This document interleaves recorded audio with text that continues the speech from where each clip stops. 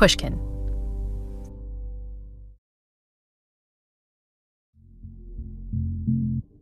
Wait, you want my version? Yeah, I want your version. Was it a New Year's party?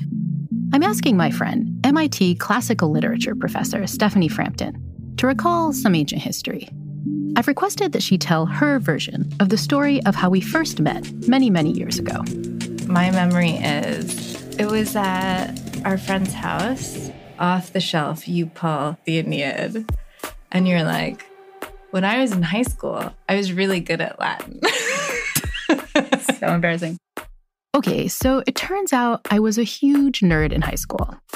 And I was kind of obsessed with all things Latin. I studied that ancient language for three whole years. And as a senior, I spent an entire semester translating an important Latin text, the Aeneid, by the famous Roman poet Virgil. But I didn't just translate the Aeneid, I got kind of obsessed with it. And being the type A 17 year old Latin scholar that I was, I, for some strange reason, decided that there was one and only one proper way to translate the first sentence of the Aeneid, which in Latin is arma virumque cano. Back then, when some scholar or author translated arma virumque cano in a way I didn't like, I kind of thought a little less of them. I know you have strong opinions, very strong opinions. So when I first met Stephanie at that party many years ago and heard that she was an expert on the literature of ancient Rome, I couldn't help but quiz her. Uh, okay, new friend, so uh, how would you translate arma virumque cano? I sing of arms and of a man. I'm into that. I can tolerate that. Technically, the correct answer is I sing of arms and a man, not I sing of arms and of a man. But it's fine, whatever. Stephanie still passed. But what a great opening, right? I sing of arms and a man. The Aeneid is about an armed struggle, but it's more importantly about a man, Aeneas, an ancient hero who weathers great dangers and sorrows. A guy who endures the worst possible tragedies a person can possibly go through and somehow finds a way to grow from them. And that's why I wanted to share Virgil's story with you today, because Aeneas can offer us some important evidence based tips for meeting the challenges that life throws our way and resiliently rising above them. And that makes Aeneas a fitting fictional subject for yet another episode of Happiness Lessons of the Ancients with me, Dr. Laurie Santos. Virgil is everyone's favorite Roman poet, and he becomes sort of the first superstar poet in the Roman world. We last heard from my friend, classics expert Stephanie Frampton, when we talked about the happiness lessons we can derive from the great Greek poet Homer. I like to think of the Aeneid as the best fan fiction there is of Homer. Homer was a towering figure in ancient literature, and Virgil, who lived hundreds of years after Homer, found lots of inspiration in his work. In fact, Virgil liked Homer's epics so much that he gave them a reboot with a Roman twist. Virgil rewrites those for his hero, Aeneas. Aeneas was a kind of minor character in Homer's original epics, but Virgil put him at the center of the action. And that's because, at least according to some legends, Aeneas wasn't just some nobody. He was the guy who would eventually found Rome. Well, that's what the Romans say. The Greeks didn't care that much about that, side of things. And so here's the simplified version of Virgil's Aeneid. It starts at the tail end of a royal love triangle, one that's so bad it results in an epic war that destroys an entire ancient city. Famous Troy. It's the site of a great battle between two great ancient peoples, the Trojans, and the Greeks who have come en masse to get back Helen because she's the wife of Menelaus. This is the, the very famous Helen of Troy. Indeed. Or alternately, Helen of Sparta, because she's the wife of Menelaus. The Trojan prince Paris comes along um, and she decides to leave her Greek husband, Menelaus, and go back to Troy with Paris. Which probably didn't make the Spartans all too happy. Not at all. And the, the Spartans kind of rally together all of the ancient Greek peoples and they sail across the sea to Troy and set siege to the city to try to get Helen back. No spoilers, but how does it go for the Trojans? Doesn't go well for the Trojans. You might remember how the Greeks sneak their way into Troy. They pretend to call off the siege and leave the Trojans with what seems like an odd, yet ever so kind parting gift a huge wooden horse. The Trojans wheel their strange present inside the city's high walls, never guessing that there were legions of Greek warriors hiding inside, just waiting to spring out for a surprise attack. Who could unfold in speech that night's havoc? Who its carnage? Who could match our toils with tears? The ancient city falls, for many years a queen. In heaps, lifeless corpses lie scattered amidst the streets, amid the homes and hallowed portals of the gods. Everywhere is cruel grief, everywhere panic, and full many a shape of death. The attack was so vicious that Virgil's hero Aeneas is one of the only Trojans to escape. The city was completely razed by the Greeks. All of his fellow Trojan princes were dead or captured. He leaves his hometown in complete ruin. It's sort of burning around him. He loses his wife in the escape. He manages to get away with only a few of his men um, his father, his son. They hop on a boat and are blown around the Mediterranean. They're nearly shipwrecked many times. They are attacked by monsters and have an encounter with a cyclops who tries to eat them, amongst other things. So it was pretty bad. Yeah, it sucked. Encountering a cyclops is majorly bad news. Here's the gory picture that Virgil paints of one of those giant one eyed cannibals. He feeds on the flesh of wretched men and their dark blood. I myself saw when he seized in his huge hand two of our company and smashed them on the rock, and the spattered courts swam with gore. I watched while he devoured their limbs, all dripping with black blood clots, and the warm joints quivered beneath his teeth. Remember when Stephanie described the Aeneid as the best Homer fanfiction ever? That's in part because Virgil continually succeeded in outdoing his predecessor in terms of the hardships he sprang on his poor hero. Consider, for example, how Virgil's Aeneid goes next level on what happens to Homer's epic hero, Odysseus. The Cyclops, we know from the Odyssey, was a very dangerous creature who likes to eat men. In the Odyssey, Odysseus and his men are attacked by one and they barely survive. And Virgil does Homer one up and has Aeneas's men attacked by a whole mob of Cyclopses and they barely get back onto their ships and sail away. So, why did Virgil choose to give poor Aeneas so many extreme trials and tribulations? The reason had to do with who Virgil was writing for his fellow Romans. The men of Virgil's time hadn't exactly been chased by man eating giants but they had been through decades and decades of bloodshed. It is the end of a century of constant warfare and infighting. It's the period of Caesar and the civil wars following Caesar's rise to power. Like Aeneas, many Romans had lost their homes and their loved ones. They'd felt a sense of collective loss for generations, a feeling that Aeneas's creator, Virgil, had also known firsthand part of the background of his story is in this period of strife and civil war, his homeland, his property gets confiscated as part of payments to soldiers for civil war, et cetera, et cetera. So he kind of has this chip on his shoulder a little bit about what's come before and feeling like it was all a little bit unfair. Virgil and his fellow traumatized Roman citizens closely identified with the tragedies that befell Aeneas. But they also really admired how Aeneas made it through all those tragedies. Because in the end, Aeneas didn't lose his home and endure countless monster attacks for nothing. Aeneas's tale is a redemption story, one that came with a huge sense of purpose and meaning. In spite of all his losses, Aeneas was fated to become the man who would found Rome.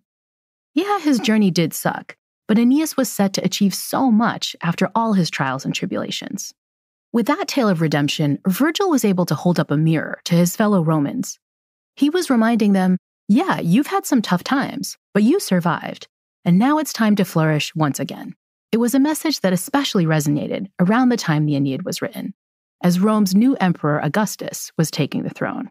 Augustus is Caesar's great nephew and heir, and finally sort of gets to be the main guy in charge of Rome and starts a period of kind of relative stability. And Virgil's poem is in some way a celebration of that.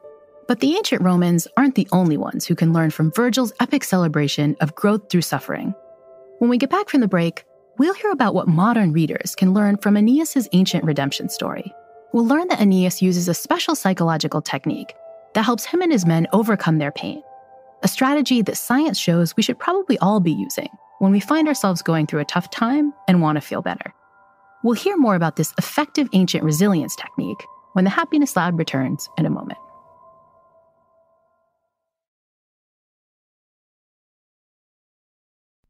It's the most successful poem in the mm-hmm. history of European languages, arguably. Sounds pretty, sounds pretty impressive. Yeah. yeah. Like me, MIT professor Stephanie Frampton is a big advocate of Virgil's epic, The Aeneid, and the role it can play in helping us to understand the psychology of resilience. It's known as the best poem in the best language. Obviously, Homer the Iliad, the Odyssey have a huge impact and are read. But Greek isn't as prominent a language in the sort of subsequent history of Europe for all sorts of reasons, mostly because of the Catholic Church. Latin is a language that's spoken in Europe actively from the first millennium BCE through the 18th century. Through 1990s New Bedford High School. Yes. When I first read the Aeneid as a teenager, I was struck by how well the poem's hero Aeneas was able to rise above the terrible tragedies he endured, which was no small feat, since the poet Virgil didn't shy away from sending terrible stuff Aeneas's way. To quote my own high school translation of Virgil, Aeneas was much buffeted by the winds of fate. I mean, the dude lost his wife and his homeland. He was trapped in numerous deadly squalls at sea. He even had to face a rabid Cyclops mob, but what I was most impressed by is the fact that Aeneas didn't shy away from all the bad stuff or try to suppress what he went through. No, he kind of relished focusing on it. Take, for example, what happens soon after Aeneas and his men crash onto the coast of Carthage after enduring a terrible storm. They've been shipwrecked, they've found themselves on the shores of this strange land. Aeneas and his men were soon welcomed by this strange land's residents, as well as their queen, Dido, Dido wanted to be hospitable, so she invited the Trojans to a big feast, the first great meal Aeneas's men had had in months. It's the first time that they have found a place where they feel like maybe they can be a little safe for a moment and reflect. At the celebration, the queen asks Aeneas to tell the story of how he and his men wound up shipwrecked on the beach outside their city. And at this point, Aeneas could have tried to do the polite thing you know, share a few vague particulars about what happened, but not get into too many of the unpleasant details, as that probably would have ruined the celebratory mood. But that's not what Aeneas did. Too deep for words, O Queen, is the grief you bid me renew. How the Greeks overthrew Troy's wealth and woeful realm, the sights most piteous that I saw myself, and wherein I played no small role. Aeneas really went there. He spent an entire chapter of the poem walking through the terrible, sordid, gory details of literally every single bad thing he and his men went through. Aeneas recalls the moments when he's leaving Troy with the city burning around him. He puts his father on his back to carry him out of the city. He grabs his son's hand and has him follow along at his side. Aeneas describes turning back and sort of seeing his wife has gone missing. He's lost her in the melee. And he goes to the ships and tries to sort of rally some of his men together and flee on the water. Such words he spoke, while sick with deep distress, he feigns hope on his face and deep in his heart stifles his anguish. Aeneas didn't downplay any of the trauma he experienced. He described it in as much detail and with as much candor as he could, which didn't make for a very pleasant dinner party conversation. Many of us would choose not to be as open as Aeneas was in discussing the negative experiences we've endured. We'd probably assume that none of our friends wanted to hear about all our drama. Or we might figure that talking about our tragedies would likely make us feel worse. But the science shows that this is a spot where our minds are lying to us. Because tons of evidence suggests that disclosing our personal tragedies openly might be an important first step towards actually healing them. Years ago, I came across an interesting finding that people who had had a major traumatic experience when they were young were much more likely to have long term health problems. This is Jamie Pennebaker, a professor of psychology at UT Austin. Jamie's been a guest on the Happiness Lab before to share his work on the importance of talking candidly about our bad times. I later discovered it was because people kept it secret, that they still were thinking about it, but they were keeping it secret because it was humiliating to acknowledge it. And we found that when people were asked to write about a deeply troubling traumatic experience or upsetting experience that they hadn't talked to other people about, that it was associated with better physical health, that people went to the doctor less, their immune system got better. So that was how I become so intrigued with this notion that if you have something that's bad and you don't want to talk about it, you probably should think about talking about it or at least writing about it. He's spoken to Holocaust survivors about sharing their harrowing life stories, and he's also had college students write down their upsetting memories. His research shows that talking in detail with someone you trust about unpleasant events, or even just jotting them down on paper, can have a surprisingly positive impact. There are easily one or 2,000 studies that have been done since then. Across these studies, it's been associated with reductions in symptoms of depression and post traumatic stress disorder. It's been associated with people performing better on creative tasks, doing better on standardized tests like SATs or MCATs. People, they report being happier, they're mentally healthier, and the biological markers have been quite impressive in terms of changes, in terms of improvements in symptoms of arthritis and immune disorders and cardiovascular changes and so forth. There's a decent chance it'll be associated with your sleeping better, that you'll be able to get along with other people better, you're able to get through upsetting experiences the way that we often don't if we are sitting quietly and mulling over these issues in our minds. Jamie has found that trying to suppress our bad memories puts a huge cognitive strain on our brains. Our minds simply don't react well when we tell them, hey, this thought is kind of sad. Well, let's not think about it anymore. And that means that opening up about our trauma, whether to a caring friend or just in a private journal, can be a huge psychological relief one that comes with all the health and happiness benefits that Jamie just mentioned. But Jamie has found that there's also a second reason that openly sharing upsetting stories is beneficial for us. By putting an upsetting experience into words, it forces structure, it forces an organization. There's a beginning, middle, and end. It's not blowing off steam. It's not some kind of venting or catharsis. Instead, you are coming to understand the event and also yourself better. When Aeneas flooded his fellow dinner guests with the sad details about losing his beloved city and fleeing from a horde of hungry cyclopses, he wasn't just complaining. He was giving his mind an effective way to make sense of the dangers his men faced. Talking about those tragic events allowed Aeneas to more carefully examine the bravery and skill that he and his men showed during those tough times. It gave him a chance to reflect on what he learned from all that adversity. And this is something that I find interesting about adversity. Having the thing that's negative certainly sucks. But by the same token, it has the potential to be healing and to make us rethink ourselves and rethink our lives. Classic scholar Stephanie Frampton thinks that this is an insight that Virgil nicely put into effect in one of my favorite passages of the Aeneid. The spot where Aeneas speaks to his men directly about what overcoming so much adversity can mean for their success in the future.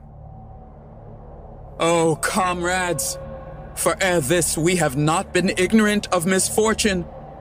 You who have suffered worse, this also God will end. You drew near to Scylla's fury and her deep echoing crags. You have known too the rocks of the Cyclops. Recall your courage and banish sad fear. Perhaps even this distress, it will someday be a joy to recall. He says, recall your courage and banish fear. That expression, recall your courage, I think in this context is really interesting. The words in Latin are revocate animos. So call back, literally, call it again to yourself, your animos, your spirit. It means both recall, as in call it back to mind, but it means also have that spirit again, like use it again. So it points in both directions, right? It's memory that's working to contextualize their present situation. It's memory that's working to give them courage now. And it's courage now that will give them strength for the future. It's like you're using the past and a particular story about the past to remind yourself, hey, I got through this before. I was resilient before. I can do it again. So you're like literally using stories about the past to recall something really important that you need right now or in the future.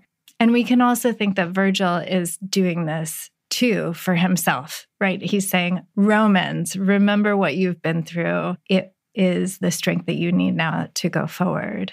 It's part of why the book was so embraced when it originally appeared. It had this ripple effect of saying if Aeneas's sacrifices were worth it for him to get here for us, then our sacrifices are also maybe worth it for us to get to a better place. But Aeneas didn't just tell his comrades to recall their courage in that famous passage. He also gave them an optimistic framework for how to think about and reflect on those sad times in the future. He says, perhaps it will someday even be a pleasure to remember these things.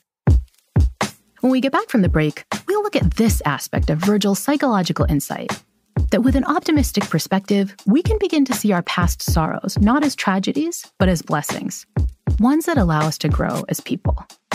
We'll see that Aeneas is an ancient example of what modern psychologists refer to as post traumatic growth. We'll learn what post traumatic growth is and why this concept can be so essential for feeling resilient during bad times. The Happiness Lab will be right back.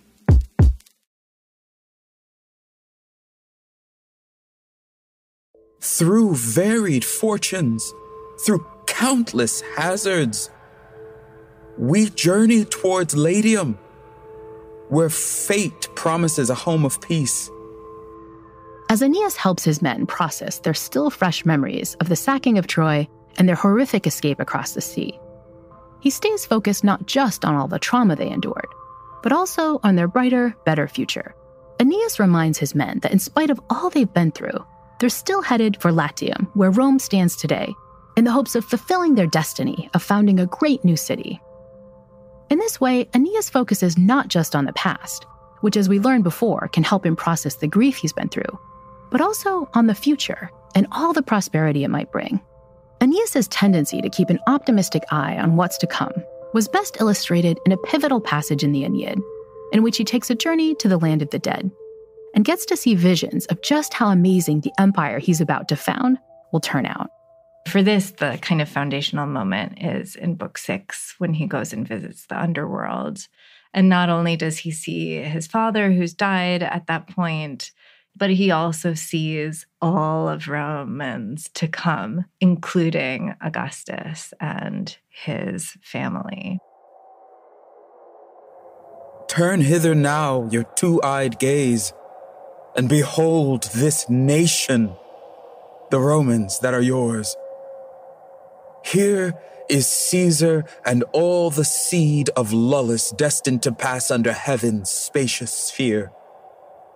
And this in truth is he whom you so often here promised you, Augustus Caesar, son of a god who will again establish a golden age in Latium amid fields once ruled by Saturn.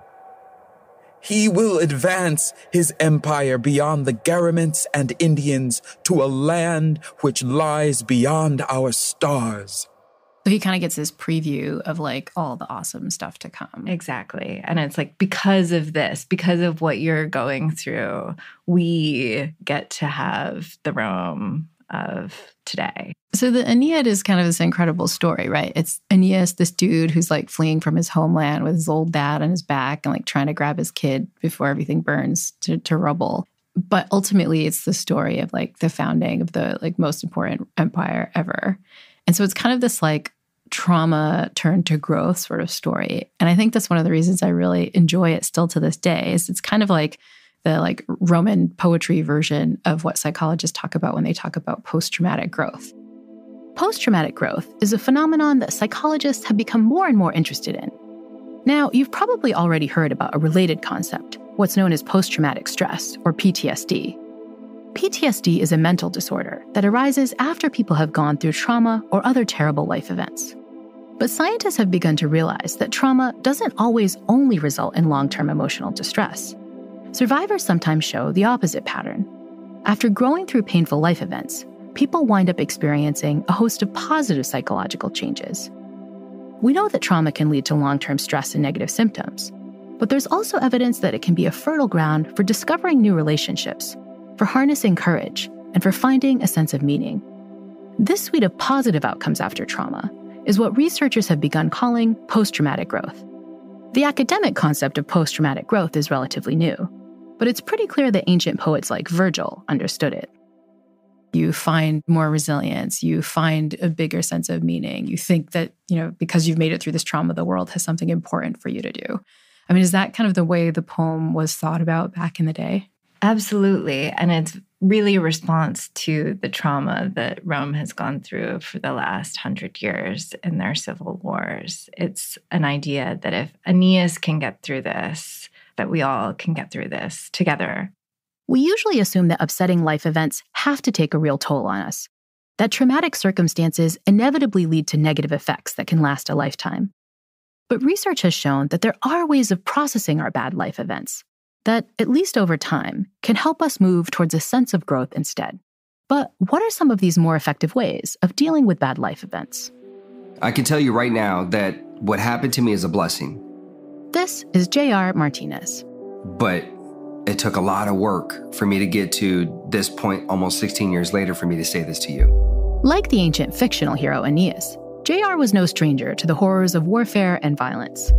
He served as a soldier in Iraq, and his life changed in an instant when the vehicle he was driving exploded when it was struck by a roadside bomb. JR was eventually rescued, but he suffered horrific burns. These painful injuries ended the then 19 year old's military career and left him scarred and disfigured for life. The identity that I had known for 19 years of my life, my physical appearance, what I recognized for 19 years of my life, every morning, every evening, every day in between when I looked in the mirror, that identity is taken away from me. And now I'm looking in the mirror, and that person that I see, I do not recognize. I have no relationship with that individual. And having to come to terms with accepting the fact that the person that I used to be has died, that person's gone, will never come back. JR suffered terribly after his accident and initially showed many of the negative effects that come after experiencing trauma. I was drinking, I was angry, I was reckless. I mean, I was not pleasant to be around. I really wasn't. But the tragedy of that bomb blast was also a pivotal moment of change in JR's life. It caused him to realize that life was short and that he needed to prioritize making the most of it. So, in spite of his scars, he decided to follow his dream of becoming an actor. He auditioned for a part in a soap opera and got it. He eventually became a TV celebrity, a magazine cover star, a motivational speaker, and an advocate for disabled veterans. That's why he now describes getting blown up in Iraq at 19 years old as a blessing. I'm blessed to have a second chance at life. I'm so passionate and I, and I have so much passion inside of me because I don't want to take this second chance for granted. I am trying to live at 100% every single day. You can hear more of JR's story in a previous episode of the Happiness Lab called The Unhappy Millionaire. But I've included JR again in this episode because both he and our ancient hero Aeneas are great examples of strategies you can use to move towards post traumatic growth. And one of those strategies involves trying to manage your emotional distress as best you can. This was something that Aeneas did well, explicitly telling his men to make sure they were regulating their emotions.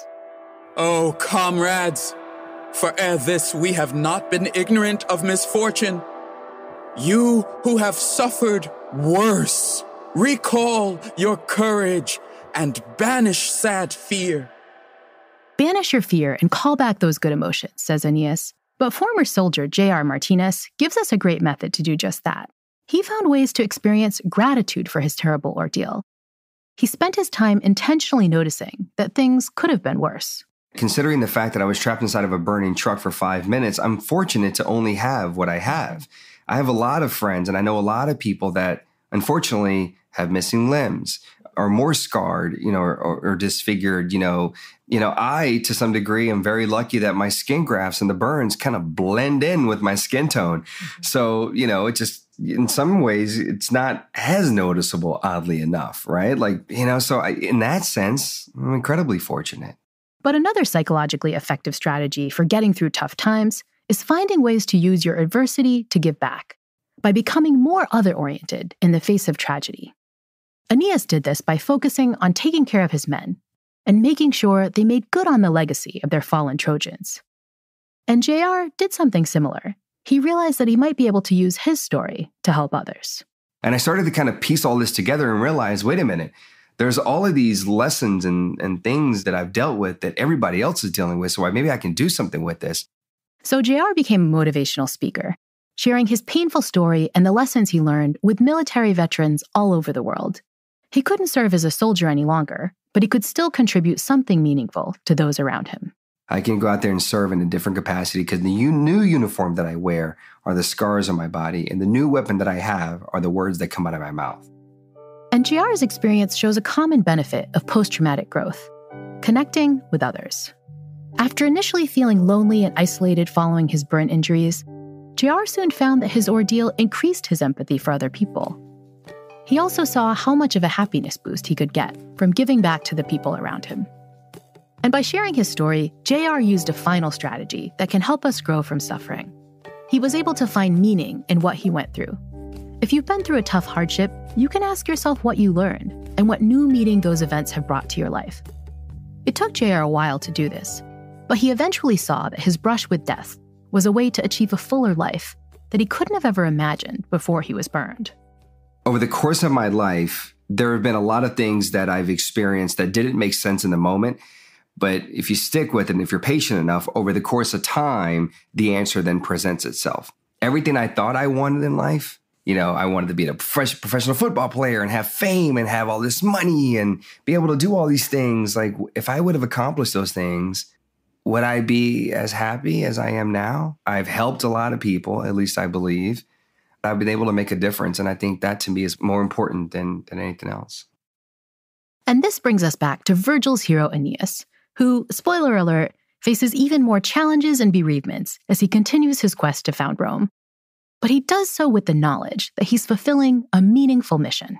That glorious Rome extend her empire to earth's ends, her ambitions to the skies what's more meaningful than, you know, picking up your fallen empire to create this new world, to create a new home for yourself and the people you care about? Yeah. And what Virgil is trying to do with the poem. Virgil gives us a hero that has been through a lot of sadness, but is endeavoring to kind of move forward. It's certainly a story that I think resonates with readers today. It certainly resonates with my students. The sense that they have a goal that they're trying to get to. Aeneas is trying to get to Rome. Um, my students are trying to graduate from MIT. Neither of these things is easy, and they have to make sacrifices along the way and make choices that sometimes looking back on you know, they have that sort of reflective self. They're maybe wish things had gone differently, but the sense of kind of moving forward and having a backward glance as part of that is, I think, really important to the way that Aeneas, the Romans, we all can create meaning.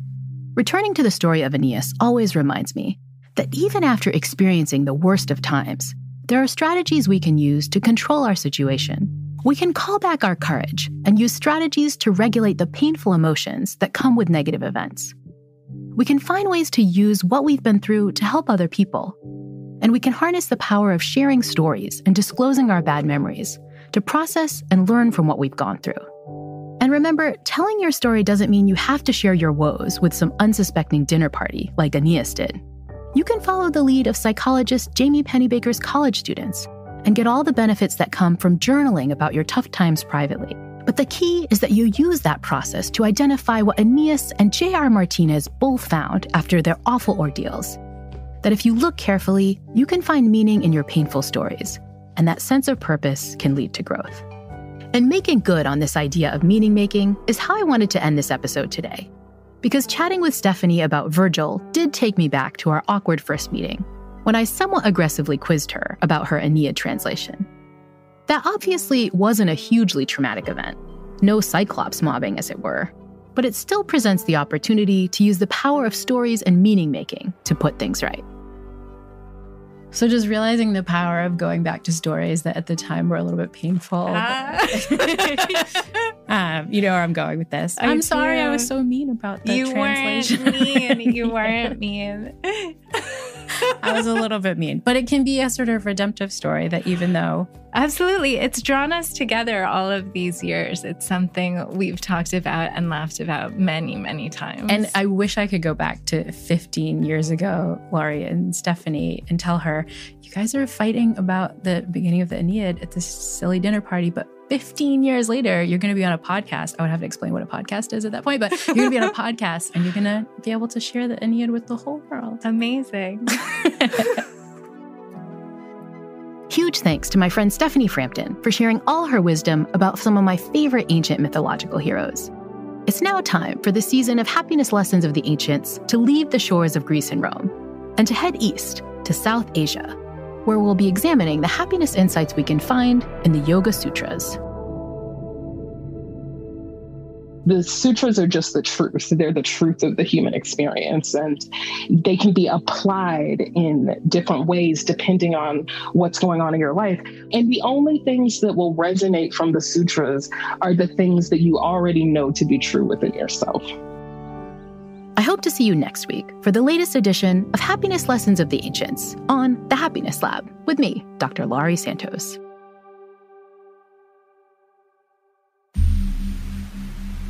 The Happiness Lab is co written by Ryan Dilley and is produced by Ryan Dilley, Courtney Guarino, and Brittany Brown. The show was mastered by Evan Viola, and our original music was composed by Zachary Silver. You also heard the voice talents of David Glover. Special thanks to Greta Cohn, Eric Sandler, Carly Migliori, Nicole Morano, Morgan Ratner, Jacob Weisberg, my agent Ben Davis, and the rest of the Pushkin team. The Happiness Lab is brought to you by Pushkin Industries and by me, Dr. Laurie Santos.